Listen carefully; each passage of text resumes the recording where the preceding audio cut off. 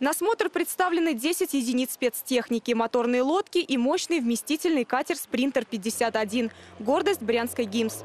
Именно проверке моторных плавсредств, так необходимых в работе, инспекторы уделяют особое внимание.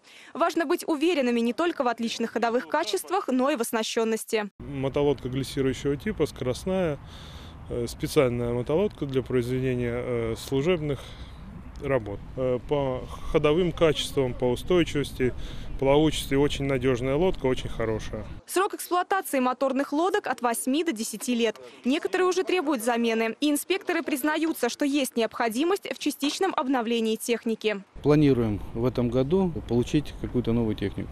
Замена техники уже требуется. У нас есть э, три плавсредства, которые достаточно уже отслужили, но они в исправном состоянии, э, на них безопасно можно патрулировать.